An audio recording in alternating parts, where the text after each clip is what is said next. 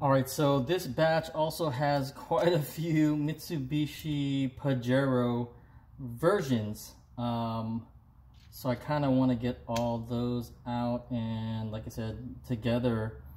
Um, yeah, I don't know how I got, they just all came um, in a group and I'm fortunate to get all of them. So let's start off.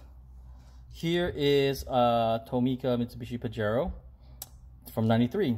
This one has all the rally, uh, might even be the Dakar racing stuff, um, but I'm not 100% sure. Does have all that stuff, the Ralliart stuff. And of course, this is kind of the same casting with the with the different graphics. Um, very, very well taken care of. This one has more of the Pia stuff on it. Here is another Pajero version, but this one has opening doors. This is 95 Mitsubishi Pajero. Oh, this is an RV, Pajero RV, which also has like the roof rack and the bash bars, um, spare tire cover. Really cool. Really, really, really digging that. Okay, here is a Mitsubishi Pajero Junior. Now look at the, the, the headlights. The headlights are round. Um, and also, also it's a little bit smaller too. These don't have any opening door trunk.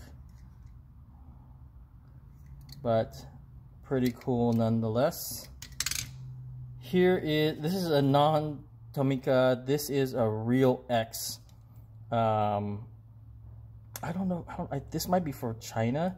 This is smaller. Let me compare to the RV smaller but pretty cool nonetheless.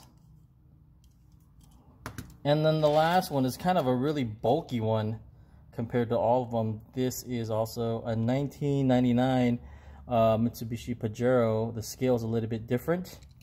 The wheels look like I said bulkier but let's let me show you com compared to the to the RV or to compared to the Junior